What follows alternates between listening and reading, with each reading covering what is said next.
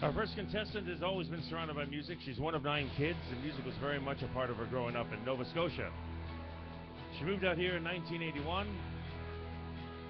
but her Celtic background came with me. They hope you all she hopes you'll enjoy her performances as much as she does performing them for you. Would you please welcome to the stage Mara Brausseau? And Mara, for her first song tonight, is going to be performing Redneck Woman by Gretchen Wilson.